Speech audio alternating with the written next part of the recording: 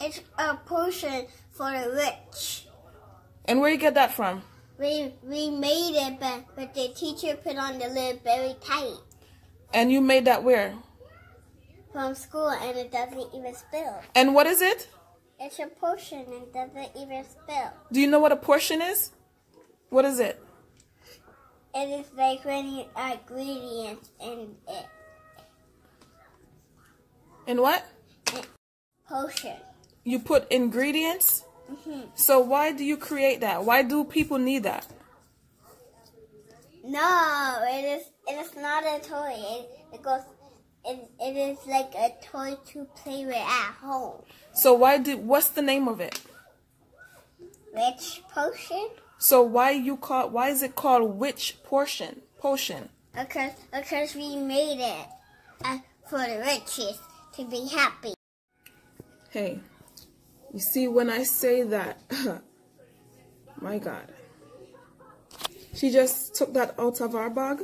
I just pick her up and that is what she said. She said, Mom, I made a witch portion, right?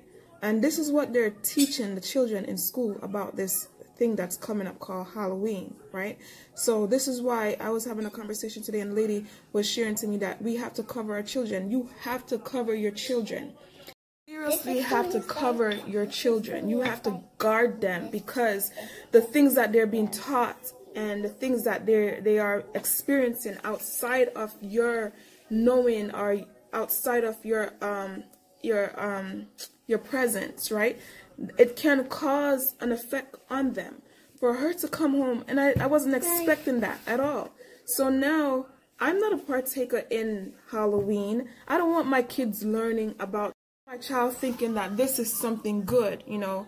Um, it's a witch witch portion. Like why is why is the school uh, um, going that far, that extent to bring in to orchestrate these